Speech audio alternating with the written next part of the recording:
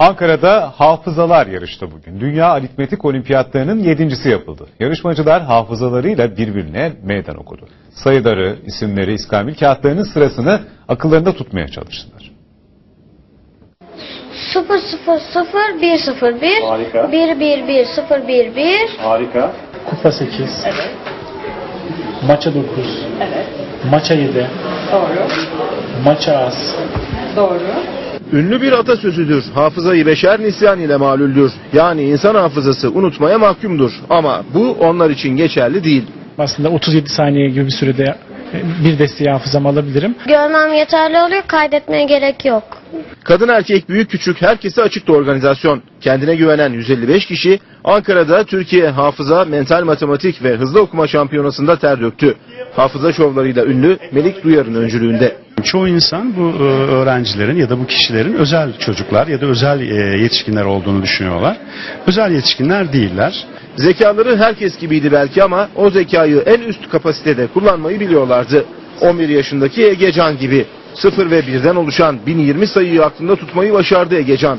Sıfır hatayla birinci oldu. Bunu nasıl yaptığını görmek için 60 rakamlık küçük bir sınav da biz hazırladık ona. 0, Evet.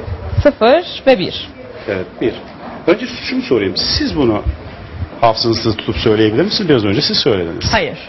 Ama Egecan şimdi bakalım ona verelim. Söyler değil mi? Egecan sen şöyle gel. 0 0 1 0 1 0 1 1 0 0 0 1 Hafıza oyunlarının en bilinen dallarından biri de iskambil kartları. Soner Polat bu alanda Türkiye birincisi. Dünyada ondan iyi yalnızca 3 kişi var. 8. 1, 2, 3, 4, 5, 6, 7, 8. hazır söyle. Sinek 9. Doğru. Gündelik hayatta iskambil kartları sayılar lazım olmuyor belki ama pek çok kişi isimler ve yüzleri eşleştirmek konusunda sıkıntı yaşıyor. Eşleştirme de yarışmada ayrı bir kategori. Uzmanına göre işin sırrı teknik ve birazcık hayal gücünde saklı. Çünkü hayal etmekte olayı yaşamış kadar hafızada yer ediyor. Biraz bedensel çalışan bir işçi diyelim tanıştınız. Ee, ismi de Ahmet.